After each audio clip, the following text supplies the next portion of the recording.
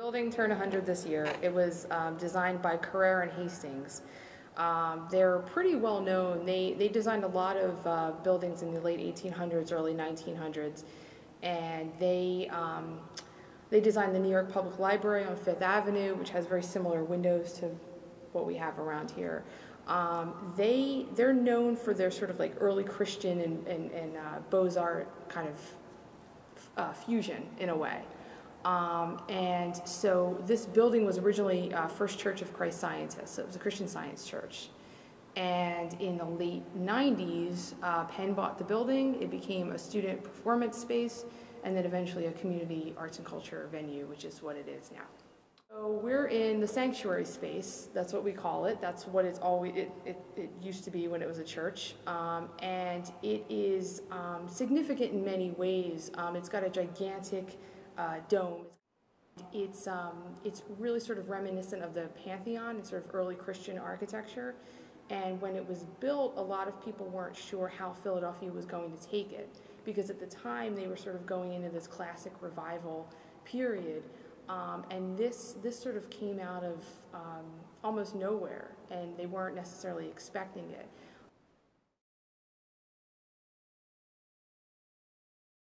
All the time. I have, I have a lot of my own photos that I've taken in here, in, in this space, in the back space, um, in, in little tucked away rooms upstairs uh, in the back space.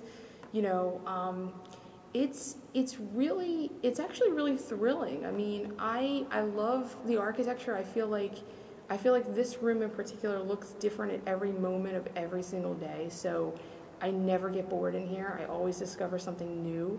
Um, you know, and I sort of invent my own kind of stories in this room. Like if I were to film something, what would it look like in here and that kind of thing.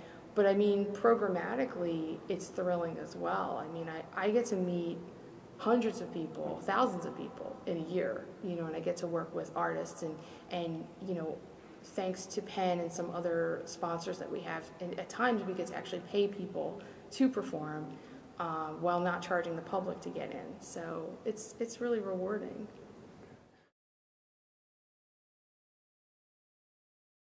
outside sweeping or taking out trash or something that's not very glamorous at all and somebody will come up to me and they'll say that um, you know they, they remember this building and they remember everything else that used to be on the block and how this is one of the few things that remains you know so much has changed around here a lot of these buildings are old, but maybe they've gotten a facelift or something. This really hasn't. Um, so once in a while, someone who used to come to church here will come up to me outside or at an event and tell me, you know, some sort of story.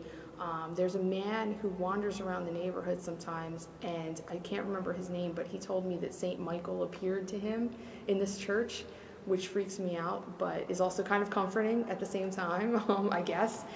And, um, and then, you know, sometimes people will come in and say that they remember what the pipe organ used to sound like when they came to church here, and that's something I've never heard. So for me, that's really special. So this coming weekend, we're going to have uh, La Dada Va Gaga Dance uh, 2011, which is part of the Philadelphia International Festival of the Arts. And it's a site-specific wandering show where you get to see various aspects of the sanctuary space and you get to experience them through movement and video. Well, Anne-Marie Mulgrew is really um, adept at creating something for a space. She, she is very much in touch with the space that she's in, um, which is why her pieces really vary depending on where she's creating and what she, you know, what she's thinking of. Uh, part of the inspiration didn't necessarily come from the architecture. It came from the Philadelphia International Festival of the Arts because they're celebrating Paris in the early 1900s. So Anne-Marie looked at um, Duchamp and some of the, the Dadaists and people like that and tried to think outside the box and tried to kind of be whimsical like she usually is, um, while also taking some, some traditional French music from that period. You'll hear a lot of accordions, for example, um, or church bells. And um, so she took all of that and she wanted to uh, create something within a special space, do something unique.